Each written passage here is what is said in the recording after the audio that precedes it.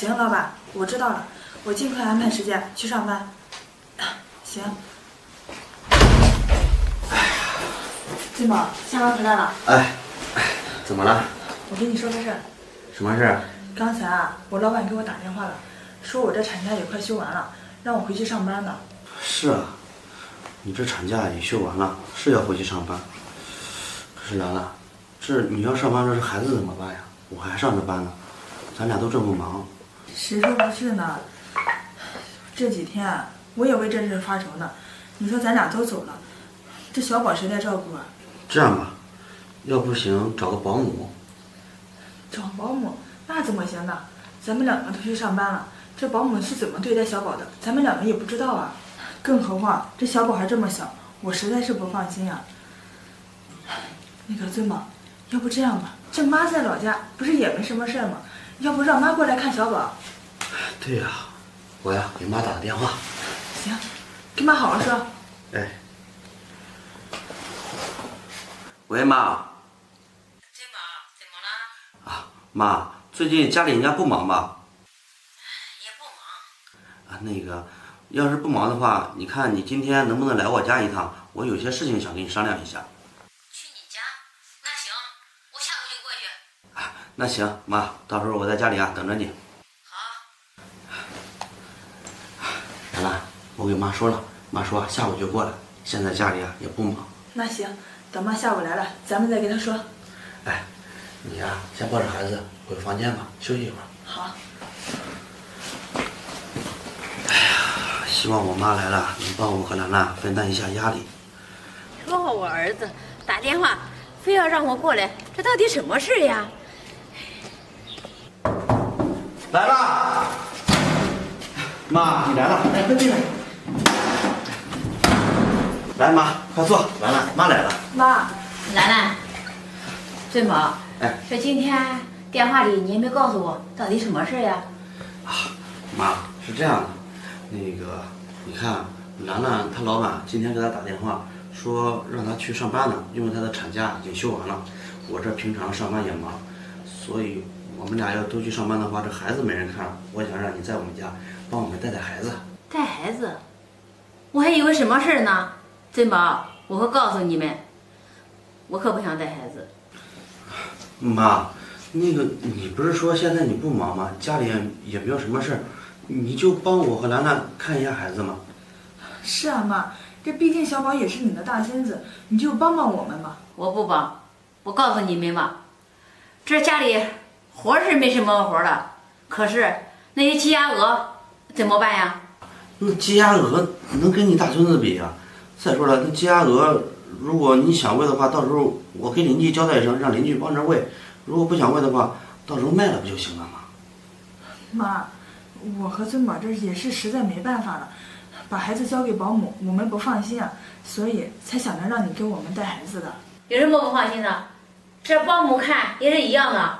尊宝，不是我说你，那你说的好听，把那些鸡鸭鹅交给邻居，那能是长久之计吗？我不放心，不行。妈，要不然这样吧，那鸡鸭鹅还有家里地你都别管了，到时候啊你专门在我们家看孩子，我和兰兰每个月，呃，除了宝宝花的钱之外，再额外给你两千块钱，这样行吧？不行，给我钱我也不想看。儿子，我现在就告诉你吧，你小的时候啊，我都看够了。现在我最不喜欢看孩子了。再说了，这是你们生孩子是你们的事儿，凭什么让我给你看呀？我就算不干活，我还打打牌呢，在这看孩子，我一点自由都没了。妈，你怎么能这么说话呢？但凡我和尊宝要是有一点办法，我们也不会让你过来的。你说说你，他也是你的亲孙子，尊宝也是你的儿子呀。现在我们遇到困难了，让你帮把手，你都不愿意吗？行了，兰兰，你别再说了。我说不愿意看，我就不看。我还以为什么事呢？我早知道你们让我过来看孩子呢，我连来都不来。我走了。哎，妈！哎呀，这我妈怎么这样啊？算了，这妈走了就让她走吧。她要不愿意看，咱们也不能强求她，不然的话留她在这儿，我更不放心。可是这妈不帮咱们看孩子，这咱们怎么办呀？还能怎么办？咱们两个都回公司跟领导好好商量商量，咱们两个轮休，轮番看孩子。那行吧，也只能这样了。兰兰，这可能要辛苦你了。那能怎么办？辛苦一点也没什么，只要把小宝看大就行了。哎呀兰兰，这六年过去了，咱们总算把小宝给带大了，现在也上小学了。是啊，以后咱们的日子就好过了。这几年真辛苦你了。那个，兰兰，你为这个家付出了这么多，我都看在眼里。你放心，咱们的日子会过得越来越好，我也会好好对你的。行，我相信你。这是怎么了？这几天呀，一直咳嗽。这我让我儿子带我去医院看看去。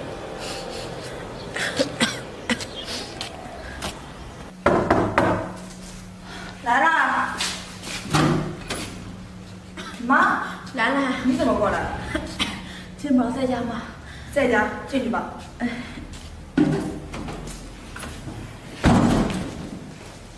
金宝，妈来了。金妈，宝，你在家呢？妈，你今天怎么来我家了？金宝，你看妈这几天老是不舒服，一直咳嗽，我想让你带我去医院检查检查。既然自己生病了，那就自己去呗，来找我们干什么？我们一边还要上班，一边还要带孩子，忙着呢，没空去。兰兰，那就算再忙，也要让尊宝抽出一点时间陪妈去医院看看呀。你看我现在也年龄大了，到医院什么也不懂。不懂？那你不会问吗？妈，当初我们遇到困难的时候，你是怎么做的呀？我们拿钱求着你，让你帮我们带孩子，你都不愿意。现在你遇到困难了，生病了，来找我们，你怎么好意思的？兰兰，这事情都过去了。再说了，这小宝不都大了吗？还提那事儿干嘛呀？尊宝，你就陪妈去医院看看吧。妈，小宝是大了，但是你知道我们这么多年是怎么过来的吗？我和兰兰一边上着班，一边还要看孩子。您当初啊，在家里明明没什么事儿干，宁愿看那些鸡鸭鹅，也不愿看小宝；宁愿出去打牌，也不愿帮我们。你说你当初那样做对吗？现在你年纪大了，生病了，让我带你去看病，你说兰兰她心里会高兴吗？儿子，你别说了，妈知道错了。我当时觉得自己年轻，也用不到你们，没想到现在老了，这身体啊老是不好。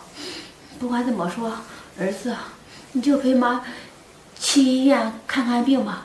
这以前千错万错都是妈的错，你就别跟妈计较了，行不行？妈，其实啊，也不是我跟兰兰跟你计较，这件事啊是过去了，但是你当初啊也不知道错，也不知道错在哪，现在只不过想让你知道知道，你当时做的到底对还是不对。儿子，你别说了，都是妈的错。现在我是知道了。妈，既然现在你也已经知道错了，我和尊宝也不是真的怪你，只是想让你知道你错在哪儿了，更想让你知道我和尊宝当初啊有多不容易。现在你生病了，尊宝是你的儿子，我是你的儿媳妇，我们也不会真的不管你的。